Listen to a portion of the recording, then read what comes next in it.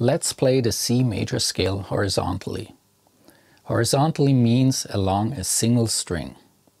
Start with the lowest note that's part of the scale.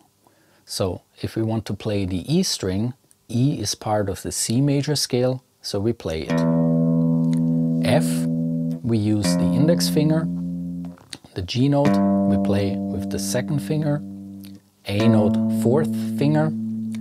Here comes a position shift. We use the index finger for the B note, second finger for the C, fourth finger D.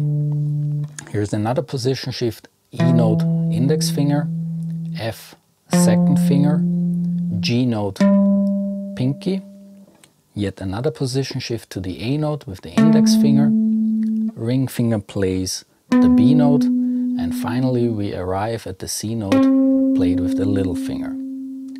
Now reverse the movement and play back down again. C, B, A, G, F, E, D, C, B, A, G, F, E and in order to land on the root note C, ascend the scale again until you play the C at the 8th fret with your second finger.